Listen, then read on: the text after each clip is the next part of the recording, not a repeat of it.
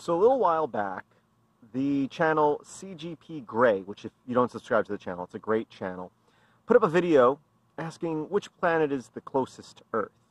And he brought up how that's somewhat of a flawed question. Which planet is closest to Earth? Because the planets are moving and they're not always in a line, was basically, you know, the answer. It's, it's like, are we talking which is the closest at the current time, which is the closest at the closest point, you know, when, the, when all the planets are the closest, which is the closest, or which is continuously the closest. Reason I bring that up is flawed questions. It seems like a good question, like a legit question. Which planet is closest to Earth? But you can see there's at least three, maybe four different answers depending on exactly what you're talking about. Well, I just watched a video uh, on YouTube, and I hear this sort of thing all the time, where Android is not Linux. And it's not. Android is not Linux. My phone, I was about to pull it out, but I'm recording with it. My phone is an Android device. Android is not Linux. Is my phone running Linux? Yes, 100%. It is Linux.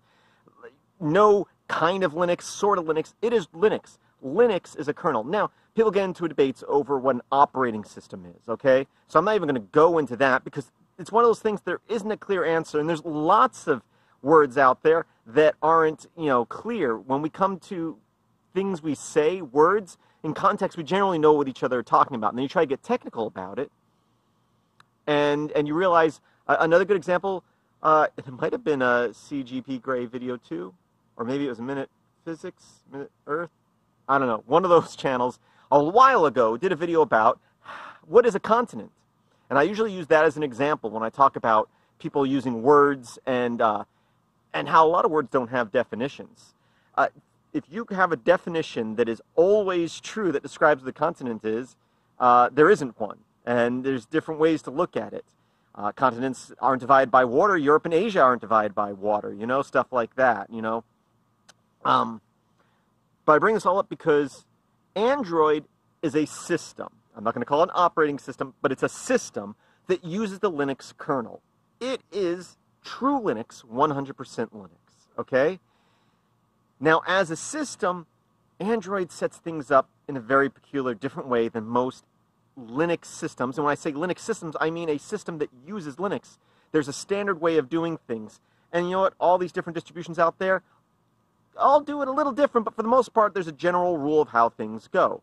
Android is just way out there and does things completely different, but it's still using the Linux kernel. I can take a Linux operating system, a Linux system such as Debian, and I can chroot into it from Linux. What does this mean? Chrooting isn't emulating. When I am running Debian in a chroot on a system, whether it be Android or another Linux desktop, I am running true Debian. I'm not emulating it. I am using the kernel that's already in RAM, but I'm telling it to look at this file system instead. And you can do that on Android. You can do that with lots of different Linux distributions. Why can you do that? Because you're running a true Linux kernel. There's the kernel, and then there's the file system.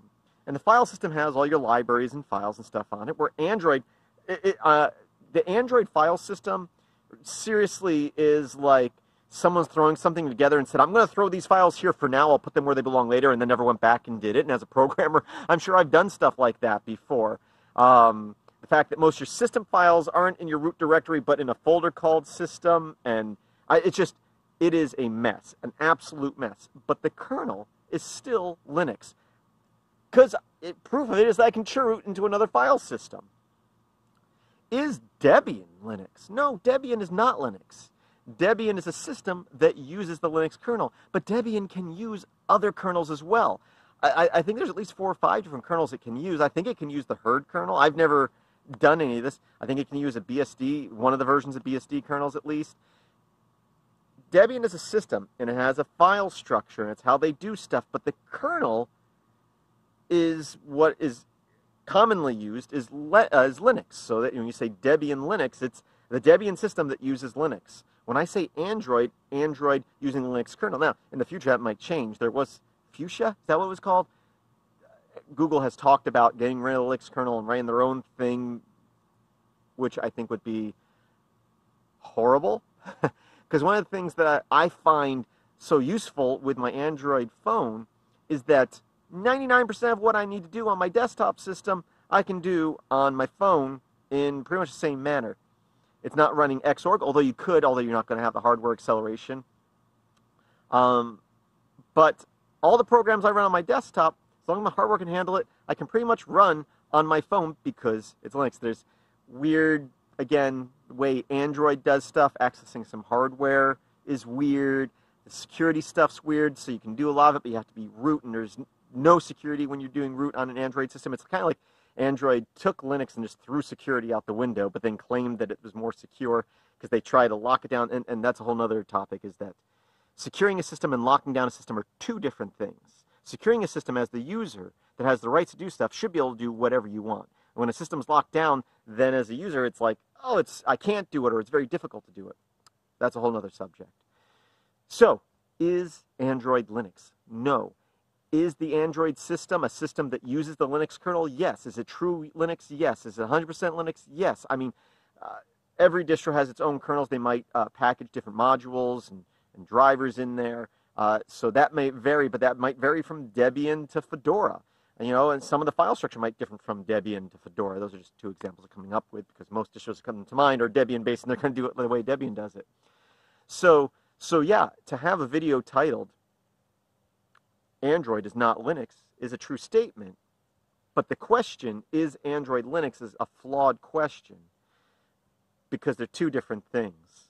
In the video I watched, the guy even referred to um, I think it was PlayStation. I didn't know this. PlayStation, I guess, is based on one of the BSD kernels. And he said saying that Android is Linux is like saying that the PlayStation is BSD.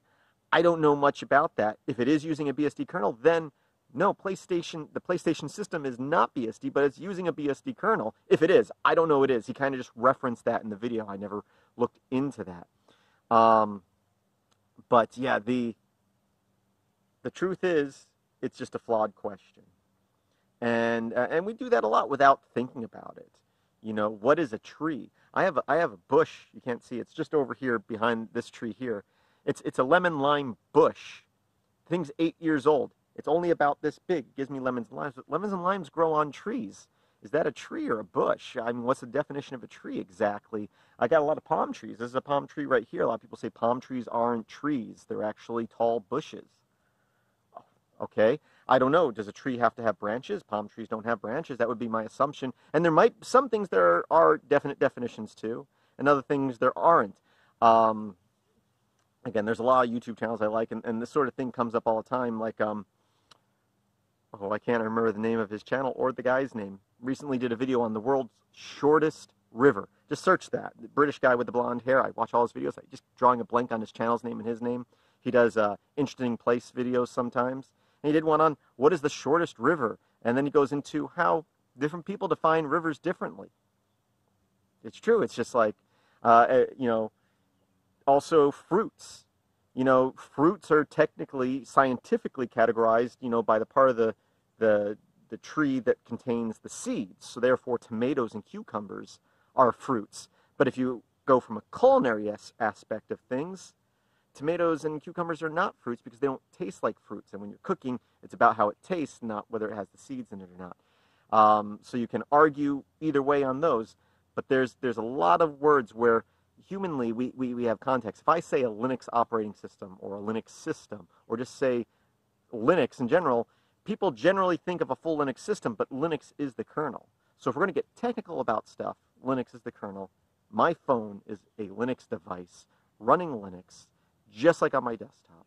And if I can do it on my desktop, I can pretty much do it on my phone with a few exceptions, and that's just because of weird security things uh, with Android. And again, Xorg is not on my phone, but it can be installed, but you're going to be missing the hardware uh, acceleration. Anyway, I do thank you for watching, listening to this little rant, and yeah, just think about that for a bit. Let me know what you think down in the comments below. Have a great day.